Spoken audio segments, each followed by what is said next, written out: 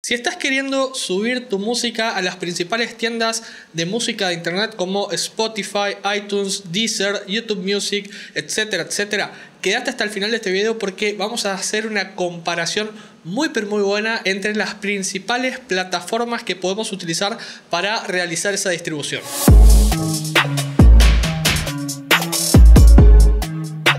Hola amigos, soy Matías Sosaya, también conocido como Clearbits, y el día de hoy vamos a estar comparando tres plataformas mediante las cuales vamos a poder distribuir nuestra música a los principales servicios de streaming de música. Pero antes de comenzar con este video, te quiero recordar que por favor te suscribas a este canal, que me dejes un like y un comentario en este video, así me beneficias un poquitito con el algoritmo de YouTube y me ayudas a que crezca un poquitito el canal y que más gente como vos pueda acceder a este tipo de contenido gratuito. Bueno, cuando hablamos de distribuidoras o mejor dicho, empresas que ofrecen servicios de distribución musical, yo clasifico esas empresas o esos servicios en tres tipos de empresas diferentes. Pero cuidado, esta es una clasificación mía, no quiere decir de que todo el mundo les llame de esta manera, sino que, te vuelvo a repetir, esta es una clasificación personal mía. Por un lado, yo considero que existen las distribuidoras OTP, que sería la sigla en inglés de One Time Payment, que en español sería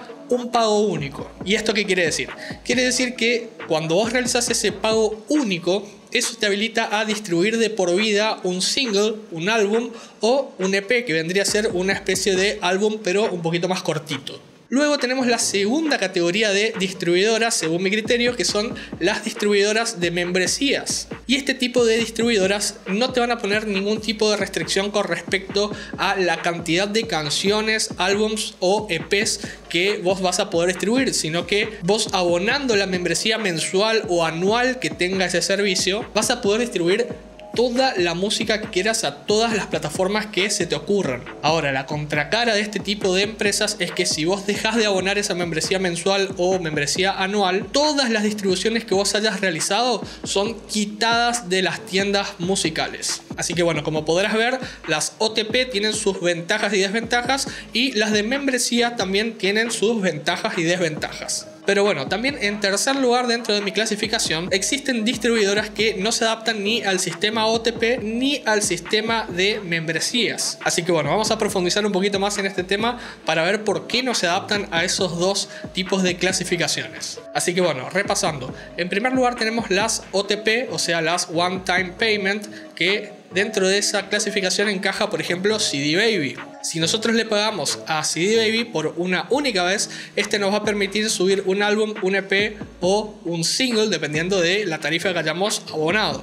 Luego, en segundo lugar, tenemos las distribuidoras de membresía, que nos van a permitir subir todo lo que queramos siempre y cuando mantengamos activa nuestra membresía paga. Y dentro de esta clasificación encaja, por ejemplo, DistroKid. Y ahora en tercer lugar, dentro de la tercera clasificación misteriosa, entre comillas, podemos hablar un poquito de lo que es RoundNote. En primer lugar, lo que podemos destacar de RoundNote es que es un servicio casi gratuito. ¿Y por qué no es 100% gratuito? Bueno, porque si bien nosotros no tenemos que pagar para distribuir nuestra música, ellos se van a quedar con un 15% de las ganancias que generen nuestras canciones en las plataformas de streaming musical. Así que bueno, ¿cómo sería esto?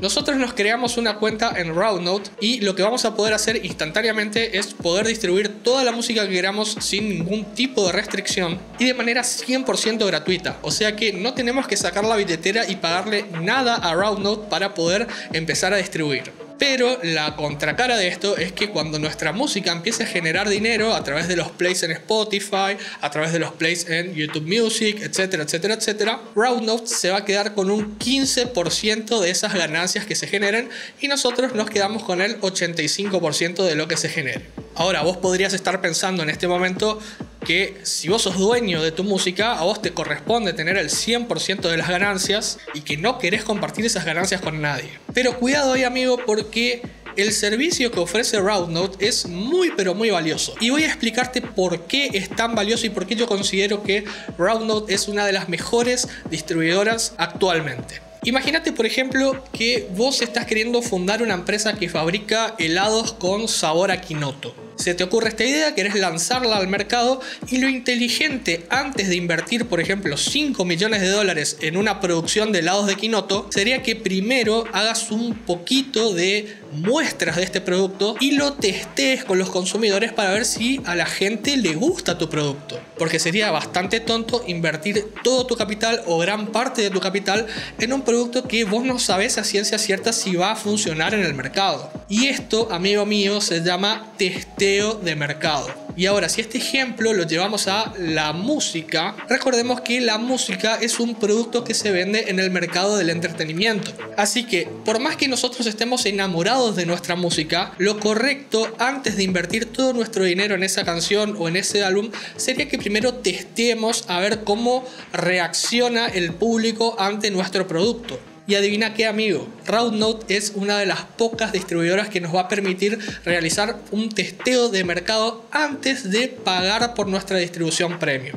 Entonces, en otras palabras, lo que vamos a poder hacer es, primero, distribuir nuestro single o nuestro álbum con la modalidad gratuita de RoundNote. Y si pasado cierto tiempo empezamos a ver que nuestra música tiene muy buena aceptación por parte del público y se está empezando a generar un poco de ganancia, ahí sí lo que vamos a poder hacer es pagar, por ejemplo, por un single 10 dólares y RoundNote nos va a empezar a dar el 100% de las ganancias de nuestra música. Así que bueno, teniendo en cuenta todo lo que te acabé de decir, ¿qué es lo que acabamos de hacer ahí? Un correcto testeo de mercado. Sería muy tonto invertir 10, 20, 30, 40, 50 dólares en la distribución de un single o un álbum si de entrada no sabemos si el público lo va a recibir bien. Primero tenemos que hacer un testeo y luego invertir el dinero. Así que bueno amigo, en resumen, CD Baby no nos permite testear el mercado. Si queremos distribuir tenemos que pagar por adelantado un pago único y ahí recién vamos a poder distribuir.